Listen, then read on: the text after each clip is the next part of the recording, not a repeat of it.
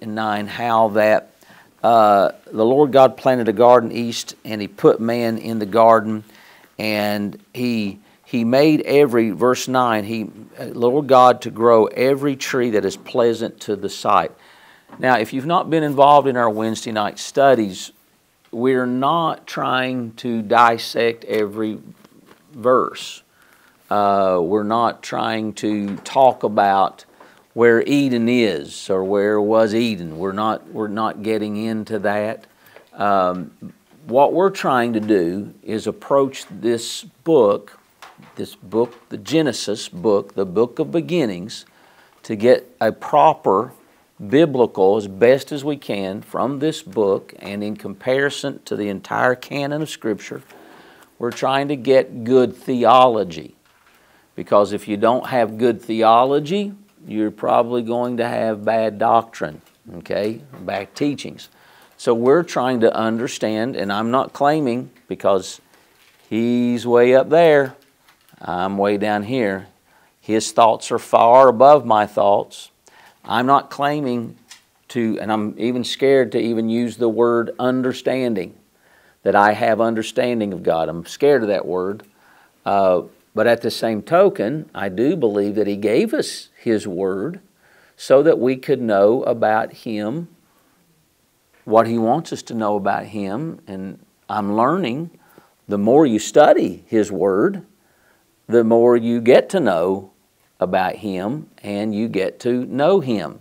And let me say it in love. Uh, I don't know how you get to know Him apart from studying His Word. You're kind of left to the whims of your own, uh, uh, how shall I say, it? your, your own demeanors, your own psyche, your own makeup. And that's what Jesus plainly says. If to follow Him, you have to give up your life, your suke, your psyche. You have to give those things up so that you can even follow Him. So there's my, uh, my preface, okay? So when we're looking at this, what we're trying to comprehend, and this is, this is one of the things that I think that we understand, even though it's simple and very practical, we understand that God desires the pleasant for His creatures. Every pleasant food, every good food. Uh, when, when you and I look at the sky, is it pleasant to look at? Why is it blue? Well, because God, in His infinite wisdom and in His infinite creation of the sky, knowing He was also going to make you, that's why He made it blue, because blue is a very pleasant color for us to look at. It's not, uh, it's, it's not uh, Pepto Bismol pink. Can you, can you imagine living in a world that was Pepto, pep, you know, it just kind of turns my stomach thinking about getting up every day and looking at a pink sky and, and, and, and unless, let's say, unless I was created to love pink, does that make sense? So there's a lot of things that when we look at just the creation, it lets us know something about God, which is what? God is pleasant. God's good. The presence of God is intended to be pleasant. Why isn't it? Well, it's because of sin. The fallen nature makes it unpleasant. Once that is moved out of the way, then the presence and of God is, is pleasant. We see that He made good for food. God desires to provide good and pleasant things for His creation, the birds of the air. I think we may have talked about this, the flowers of the field. Have you ever wondered why did God, why put flowers in a field? Why? He didn't have to, but he did. They have an aroma, they have a smell. Uh, they, did, he, did he have to? No, but he did. Is, is this making sense? And so it, it lets you kind of know a little bit about the intricate details of God in his, in his makeup to, uh, uh, and I'm not trying to downgrade it or make light of it, but, but God adds a splash of color. It, that green field needs a splash of yellow. That green field needs a splash of white. And when we, when we look at it, we can look at a green field, but most of us acknowledge that when we see the flower in the field, it changes our heart towards the field. It's more pleasant. And God wants that uh, for us. So when we consider, I don't know if we got into all of this before, but I just want to make kind of a note of it. When we consider the condition of the coming kingdom, when you look at how it's going to be, Revelation chapter number 20. Um, if I didn't cover it, we'll cover it now. If I did, I apologize. But Revelation 21 And I saw an angel come down from heaven, having the key of the bottomless pit and a great chain in his hand. And he laid hold on the dragon, the old serpent, which is the devil and Satan, and bound him a thousand years, and cast him into the bottomless pit, and shut him up, and set a seal upon him, that he should deceive the nations no more till the thousand years should be fulfilled, and after that he must be loosed a little season. And I saw thrones, and they that sat upon them, and judgment was given unto them, and I saw souls of them that were beheaded for the witness of Jesus and for the world, word of, of God, and, and which had not worshipped the beast, neither his image, neither had received his mark upon their foreheads or in their hands, and they lived and reigned with Christ a thousand years. So the Bible teaches in Revelation chapter 20 that we are legitimately headed into a thousand year kingdom, which is going to be void of the presence of Lucifer. Lucifer is going to be bound, according to Revelation chapter 20, for a thousand years. Isaiah 11 1 and there shall come forth a rod out of the stem of Jesse, and a branch shall grow out of his roots. And the Spirit of the Lord shall rest upon him the Spirit of wisdom and understanding, the Spirit of counsel and might, the Spirit of knowledge and the fear of the Lord. And shall make him of quick understanding in the fear of the Lord, and he shall not judge after the sight of his eyes, neither reprove after the hearing of his ears, but with righteousness shall he judge the poor this is talking about the king of this kingdom, which is talking about Jesus Christ. But with righteousness shall he judge the poor, and reprove with equity for the meek of the earth. And he shall smite the earth with the rod of his mouth, and with the breath of his lips shall he slay the wicked. And righteousness shall be the girdle of his loins, and faithfulness the girdle of his reins. It's amazing. Look at what it says in verse 6, Isaiah 11 6. The wolf also shall dwell with the lamb, and the leopard shall lie down with the kid, talking about the goat, and the calf, and the young lion, and the fatling together, and the little child shall lead them. This is where, this is where we're headed. Now, the, the devil wants us to think, no, we're headed into annihilation. No, he's headed into annihilation. He's headed into annihilation. The, the, the devil wants us to think, oh, humanity is going to be annihilated. No, the wicked are going to be annihilated. That's where we're headed. And so when we, when we think in these terms, the pleasant God of Genesis is who made the garden of Genesis and put man in it is the same God. He's still in control. He's not went anywhere, and we are headed. Isn't it interesting? at the resurrection, what did Mary think Jesus was when she saw him? The Bible plainly says in the gospel, she supposed him to be the what? The gardener. Isn't it interesting? So we've got we've got a garden situation. We got Jesus after the resurrection in that garden tomb. Mary didn't recognize him, thought, okay, maybe he's the gardener who's keeping the garden. Well, the truth is, in the grand scheme of things, he is the gardener that is keeping the garden. The first Adam failed. Jesus is the second Adam, and he did not fail, and he isn't failing. And so the, the intent, for lack of better words, and I'm not, I don't have a really good vocabulary, but the intent of God is still on course. It's still on track, which is what? For God to dwell with man in paradise. Still on track. And that's where the people of God, the children of God, That's, that's where we're going to end up. Even on this planet. I'm not even talking about heaven. This millennial reign is on this planet. This is going to take place on this planet, okay? And then there, there's a whole new heaven and new earth that Revelation talks about. So, what does this mean? Well, it, it means that if, if I want to have proper theology, I need to, I need to acknowledge I am, I, I am created by a pleasant, good God. Okay? A pleasant, good God. Can his wrath be kindled? Yes. Will he pour out his wrath? Yes. But does he prefer to extend grace? Obviously. Why is it obvious? He gave his son and poured out his wrath on his own son so that I could be saved and escape his wrath. Is this making sense?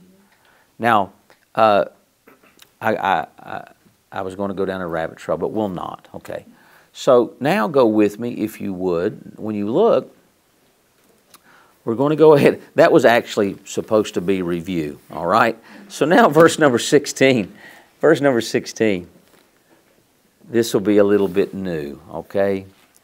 And the Lord God commanded the man, oh, I'm sorry. Uh, uh, verse 15. I, let, let's, let's, not, let's not jump verse 15. Let's go back to verse 15. And the Lord God took the man and put him into the Garden of Eden. Look at what it says to dress it and to keep it. So tonight we want to spend the rest of our time, and I want to share with you what, uh, you know, we used to have what is known as the gold standard. And that's how you kn- knew the value of your money. It was all based upon gold. It's no longer that, it's fictitious now. But I want to talk about the God standard. Okay? What's the God standard? Okay, here we are. We're looking into what God has done. He's made a pleasant garden. And then what did He do? He put man and eventually woman in it. And what were they to do? They were to dress it and to keep it. Okay?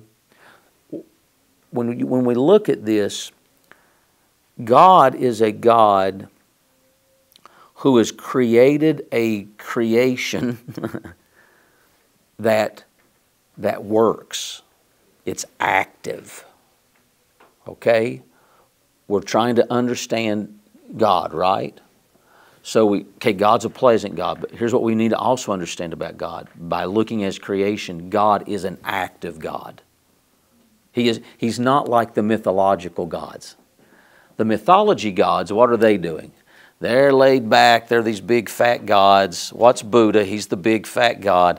And they're, they're laid back. All of these myth, mytholo- mythological gods, they're all laid back and they're, they're every now and then shooting a lightning bolt. Zeus is shooting a lightning bolt out of a fingertip because somebody did something that he didn't like.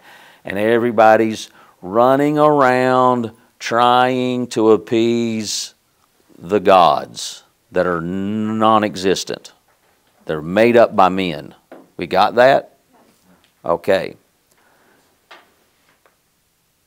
Our God's active. The one true God's active. How do we know that? We know that through his, through his creation. Everything is active. Everything's moving. The, the, the, as, as, everything that we can see has activity about it the fact that we can see is an activity. Uh, the, the things that we can't see, that we get a microscope and we see, and when we look at them, we find, oh, wait a minute, there's activity. There's something going on all the time. Everything is moved. So, what, what's this thing? Everything is in motion. So, God is a God of activity, a God of motion.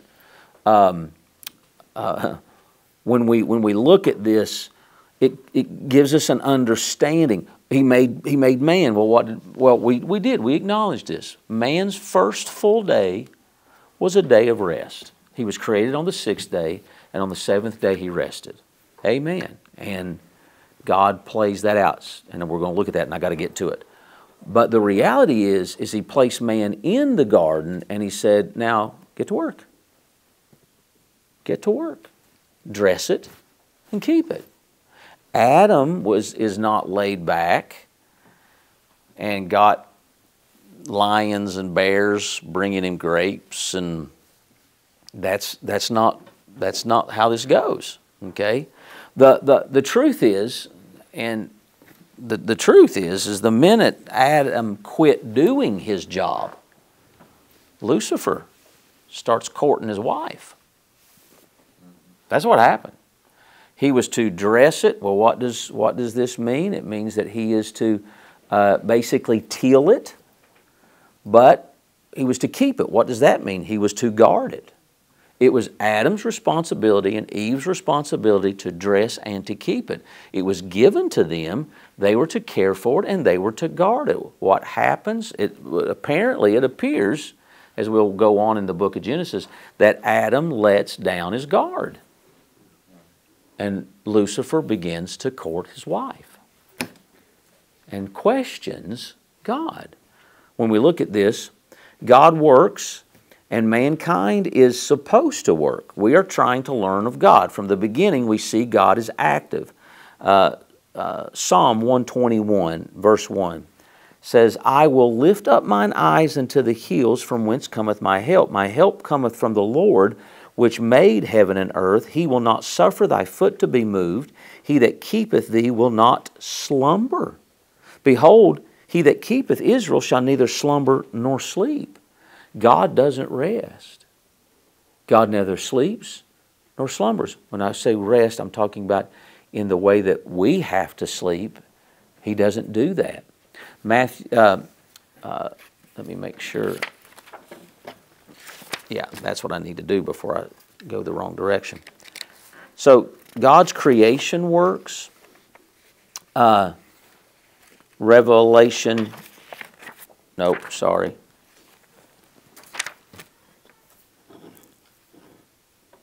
when I don't number my pages, I lose track. Uh, consider the vegetation of a forest.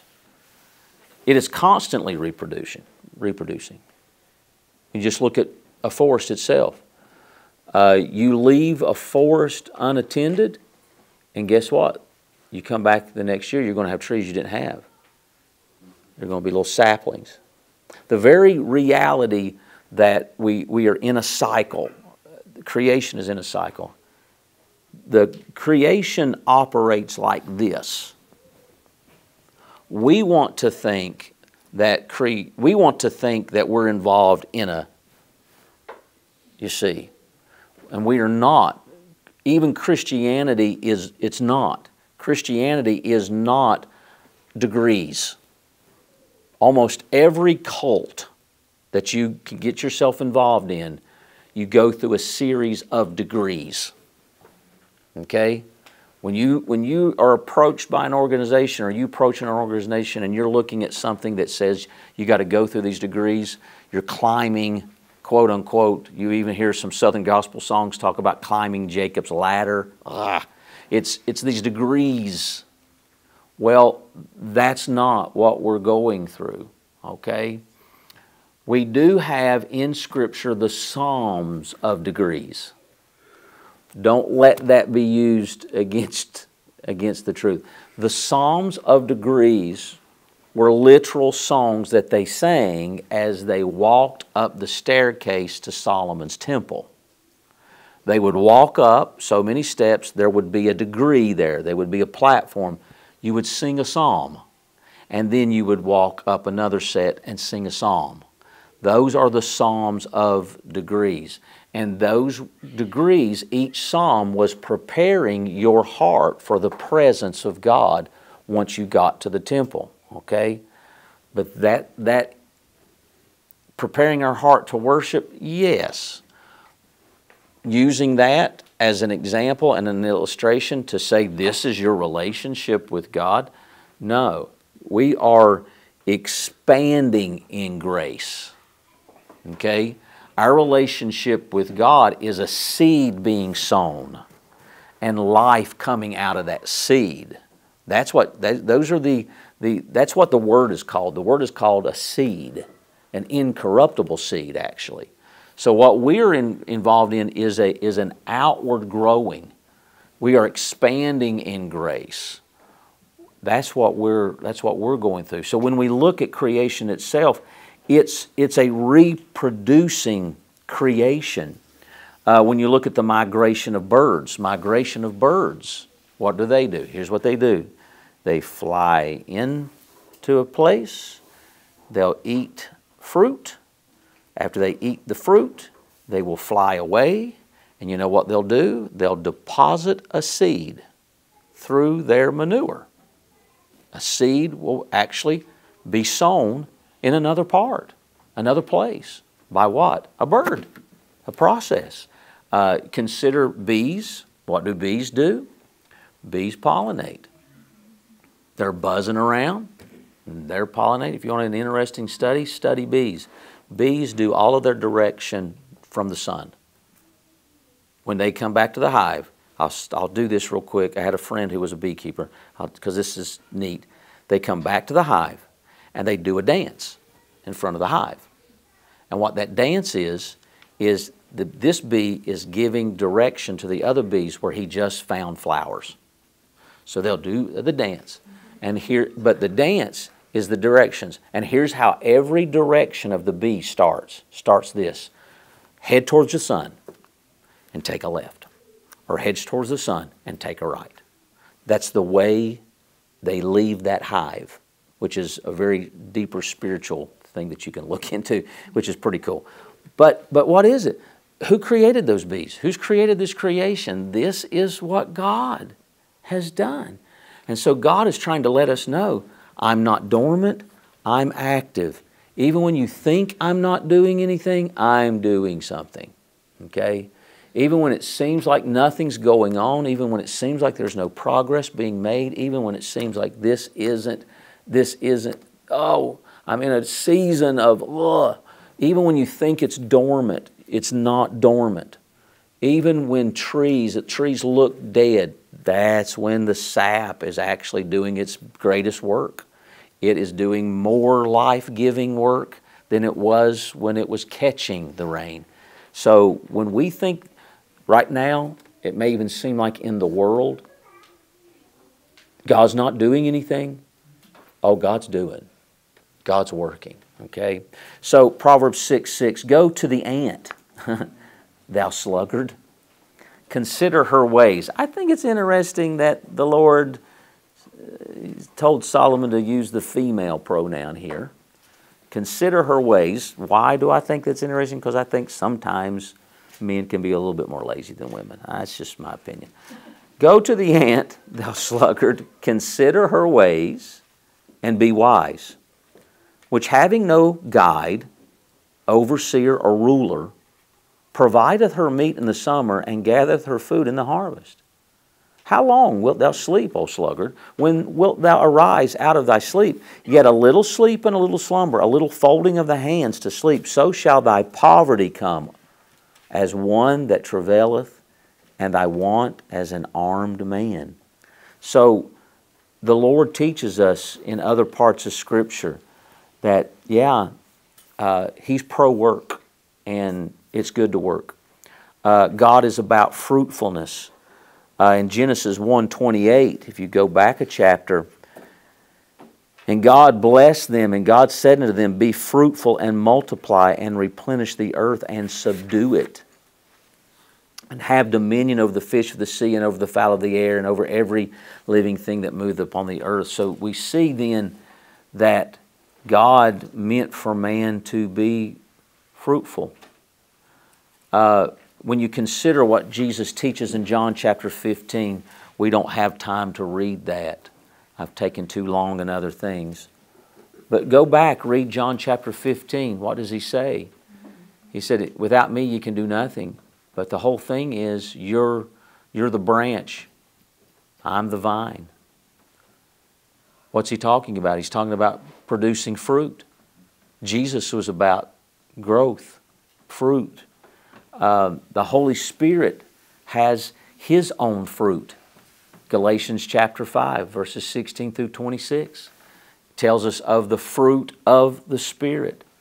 Uh, when we look at verse number 15, and the Lord God took the man and put him into the garden. When we look at the fact that there's a garden, we see the activity of creation. We have an active God. When we look at the command, dress it and keep it, we see that God gave man a purpose. God gave man a purpose. So, when we consider the work standard, what is the work standard? Exodus chapter 20, verse 9. Six days shalt thou labor and do all thy work. We got a seven day work week. God says you need to work six days. Work six days. And rest on the seventh. I think some of the reason why I get wore out is because I, I don't rest on that seventh day. I don't I don't pause. I don't I don't take the day and I don't spend time with when I do that, I'm refreshed. I'm strengthened. I'm able to go on. When I when I don't do that, it doesn't take long, and I'm starting to get a little bit uh, manic, for lack of better words. Uh, modern day illustration proof Chick fil A. They've proven you don't have to work on Sundays. You don't have to. You'll be fine, you know. And uh, one of the one of the things that uh, we look at is the the. Now let me say say it this way, and I'm speaking to Chris, and God's really. I spent the time with God studying this, and God's really spoken to me about this. He genuinely has. Uh, be sure you're working the six days. Be, be sure you're working. Uh, I think sometimes what we try to do is we try to avoid work as much as we can. Uh, has anybody ever told you when you're leaving their presence, and they mean no harm, but they'll say, "Don't work too hard." Anybody ever told you that? It's kind of I don't know if it's a Southern thing or if it has made its way above the Mason-Dixon line. I don't know, but don't don't work too hard. And I'm like, so what you're telling me is do minimal. Uh, you know, we don't mean nothing by it, but it, it's, it's contradictory to God saying, work hard, and you'll be glad you did. You'll be glad. Um, don't take this wrong. I like working. I like it. I like to work. I like to be productive. I like I was talking to your husband today at lunch, and our struggle is is we don't want to quit working. you know? And we do know that there's coming a day when you gotta let something go, but what are you going to do for the rest of your days? And so, God being my helper, I, I want to be doing something. Okay? I got to move on. John 9 4. This is the words of Jesus I must work the works of him that sent me while it is day. The night cometh when no man can work. If that is not a message to the church of Jesus Christ, he says, I must do the works of him that sent me while it is day. If you look at John chapter number 17, Jesus is praying to God the Father, and he's saying, as you have sent me, I have sent them. If there is anything that the church needs to absorb, is that we have been sent just like Jesus has been sent.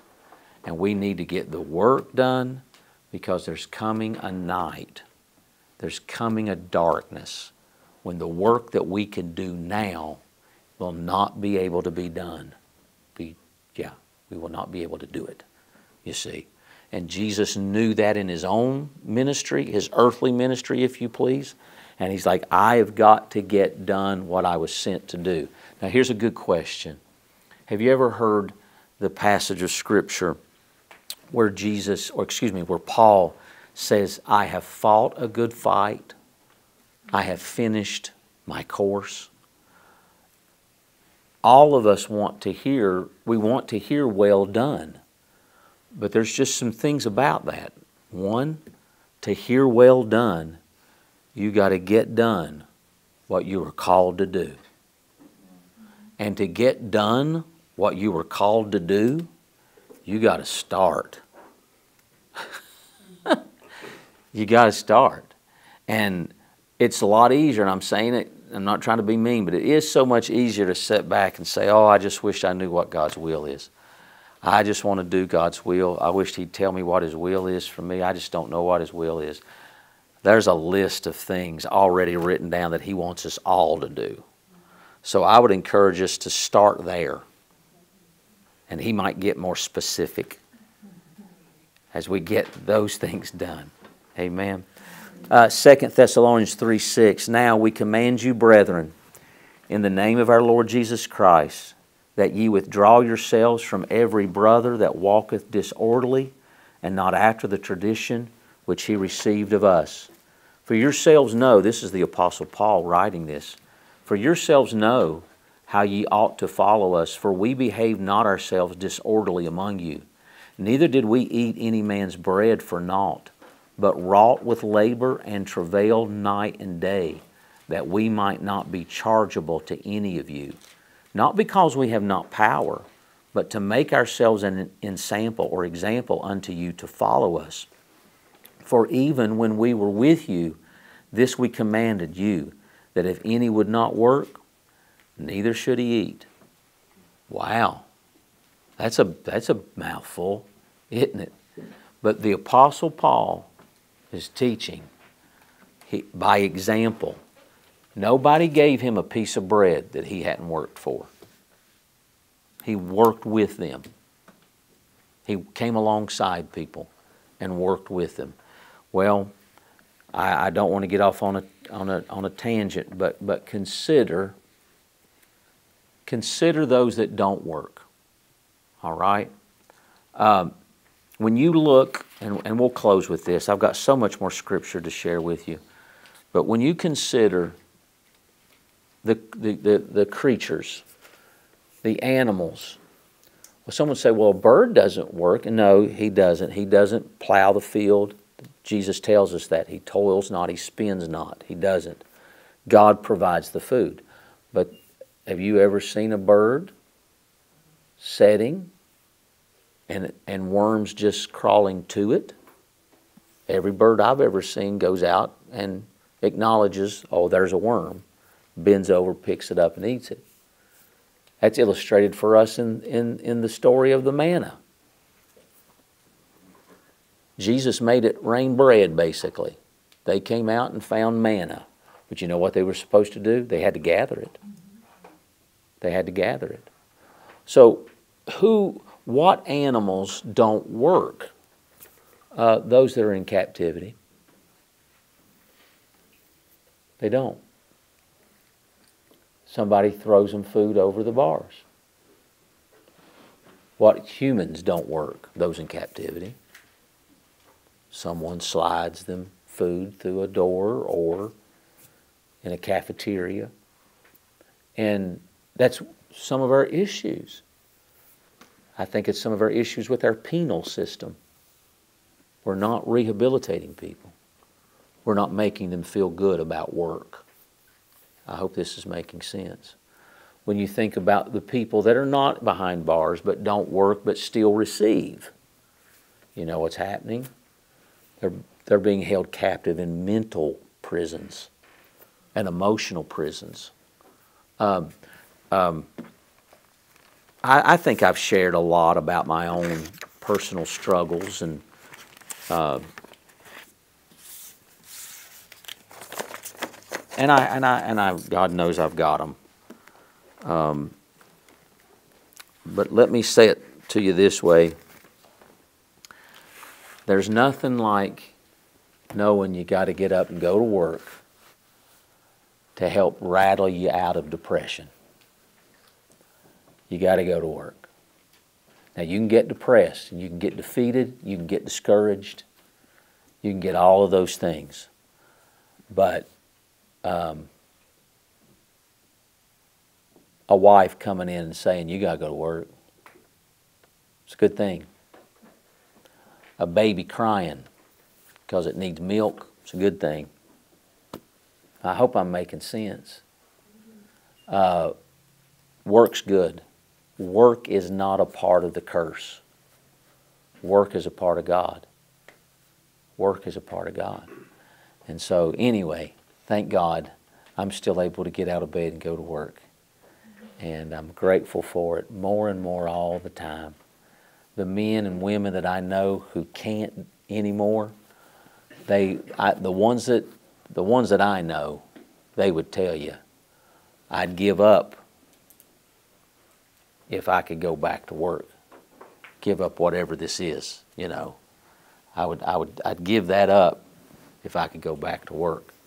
Um, most, most people that, uh, well, I'll just say it this way: the honest people that I know that end up disabled. My, my father ended up disabled. And I'm telling you, he'd have rather worked. You know, you know. Uh, so let's dismiss in prayer. Thank you, Jesus, for your kindness. Sincerely, thank you, Lord, for giving us strength and health. Thank you for letting us work. Help us to accept that you are at work and that work is a part of your creation. And help us to do what you've called us to do while we still have the time. Help us to follow the words of Jesus that we must do the work that you've sent us to do while it's day. In Jesus' name, amen.